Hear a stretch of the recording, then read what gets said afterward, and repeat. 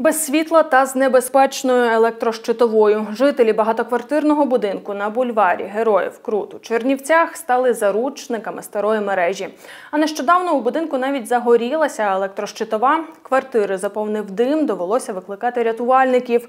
Люди в усьому звинувачують управлінську компанію. Натомість там мають свої аргументи. У ситуації розбиралася Даяна Грубер.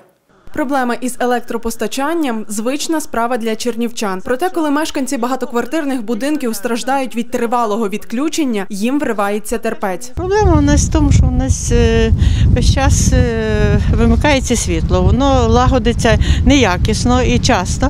А останній час сталася така пригода, що вже більше терпіти не можна.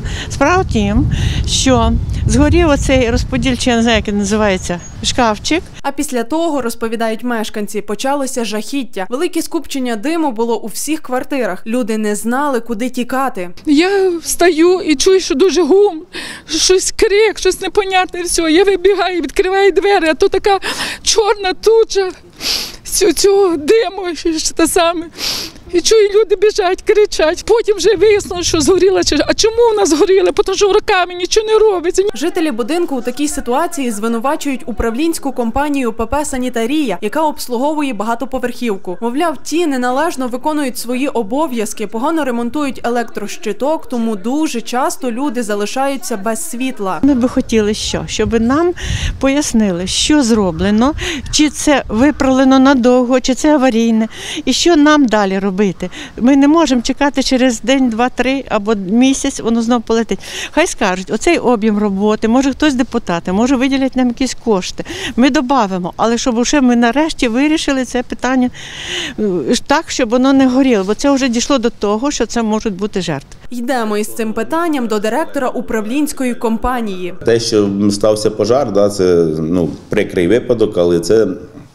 Е, Важко, тобто, ну, проаналізувати, чого саме яка причина. Ну, перша із причин, тобто, будемо говорити про те, що всім будинкам за 35 років. Е, термін експлуатації ну, всі, всієї проводки, кабелю, це він, ну, він вже завершився. Тому потрібно все міняти. Капітальні ремонти потрібно. Додає, люди використовують багато різної електротехніки, а стара мережа не витримує такого навантаження. На сьогоднішній день ми ліквідували цю аварію, тобто ми замінили проводку від підвалу.